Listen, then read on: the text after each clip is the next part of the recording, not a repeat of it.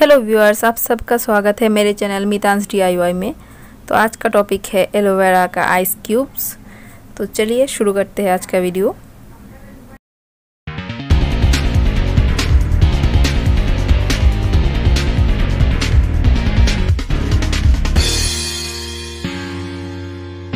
तो आप सब लोग देख सकते हो, मैंने यहाँ पे एलोवेरा जेल ले लिया है, मैंने यहाँ पे फ्रेश एलोवेरा जेल लिया है। आप चाहो तो मार्केट वाला एलोवेरा जेल से भी आप आइस क्यूब्स बना सकते हो, लेकिन फ्रेश बहुत ही अच्छा होता है। प्लांट से आप डायरेक्टली लेते हो, फिर इसको एक या फिर दो घंटे में आप आइस क्यूब्स बना सकते हो। तो आप फ्रेश ही लो, बहुत ही अच्छा होगा आपके लिए।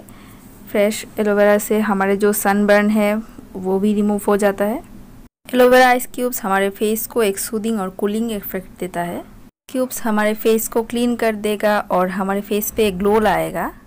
एलोवेरा जेल डार्क सर्कल्स के लिए बहुत ही अच्छा होता है। आप रात को सोने से पहले एक कॉटन के क्लोथ में एक या फिर दो आइस क्यूब्स ले लीजिए, उसके बाद अपने आँखों के नीचे अप्लाई कीजिए। उससे जो डार्क सर्कल्स है, वो काफ़ी हद तक बहुत ही कम दिनों में ख़त्म हो जाता है।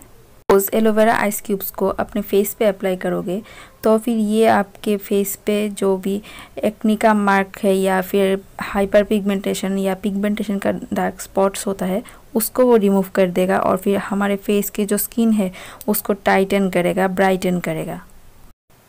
अगर आपके नोज़ एरिया पे ओपन पोर्स की कोई प्रॉब्लम है तो उस ओपन पोर्स के साइज़ को aloe vera ice cube shrink कर देता है, आप एक फ्रेश एलोवेरा प्लांट से एलोवेरा जेल को एक्सट्रैक्ट कीजिए, उसके बाद आप एक ट्रे में आइस क्यूब्स बना लीजिए और उसको कॉटन के क्लॉथ में डाल के फिर उसको हल्के हाथों से अपने पूरे फेस में सर्कुलर मोशन में रब कीजिए। थोड़ा थोड़ा प्रेस भी कीजिए, उससे जो हमारे ब्लड को सर्कुलेशन है, वो मदद करता तो बस आज के लिए इतना ही। आप मेरे वीडियोस को लाइक कीजिए, मेरे चैनल को सब्सक्राइब ज़रूर कीजिए। Thanks for watching